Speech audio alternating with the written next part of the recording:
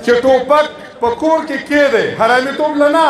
د شپې د کلی د سړی نه علاوه د بل کلی سړی هم په 12 بجې ګرځېدو زما د اعلان دې مړ کړي فوجي ماما تا ته ګنام نشتا دا ستا کار هم نه دی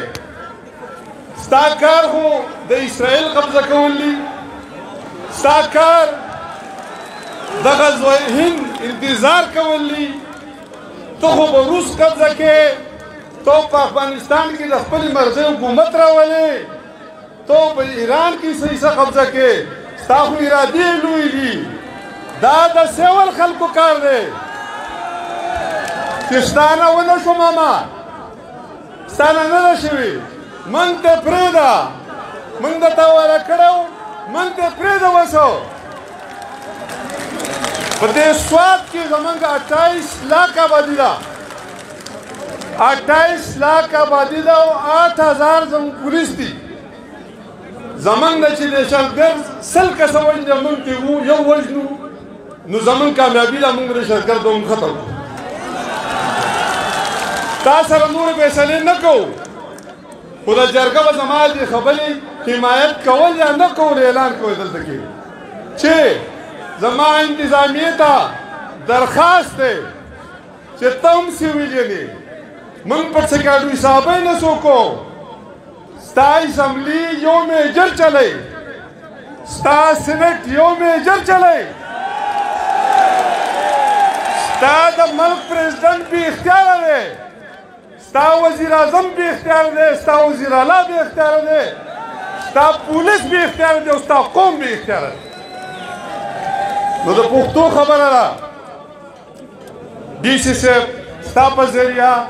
صوبایي او ټولو واکدارانو ته یو خبره کوم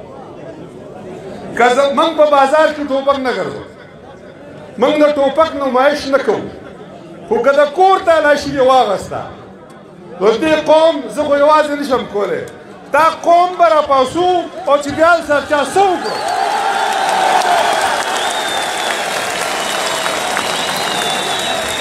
ټول قوم ته مې اعلان دی چې ټوپک په کور کې کېدی حرامیتوب له نه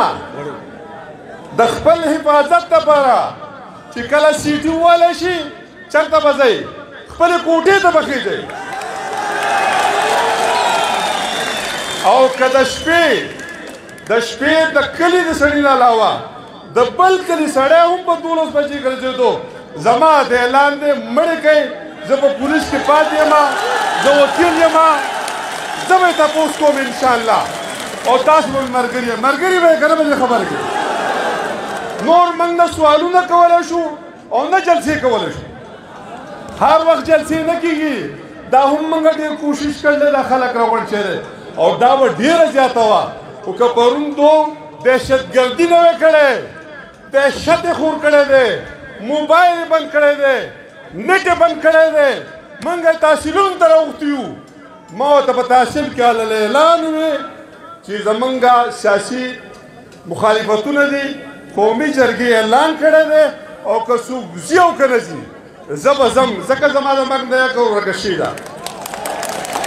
په دې حاجي بابا سکول کې په دې حاجي بابا سکول کې را باندې خودته شامله شوې ده د جاوید اقبال ډي سي پي مرحوم شهید په جنازه کې زوی یې هم پکې زخمي شوی دی او زه نه یم مړ چون کسان په یو ځل دندره پراته وو وروره دغه یو څو خبرې مې ته کولې په دې چرنه کېږي بې جرګو مرګو تاسو چې کوم کار شروع کړی ټیک ټو بک په بکور کې پروت دي تاسو سره وعده ده دا د پښتو کار دی او ان شاء الله نور به موږ خپل پولیس هم ساتو ځان به هم ساتو خپل بچي به هم ساتو او ستا چې ایمان شته نو بیا راشه ماته معلوم یې اوس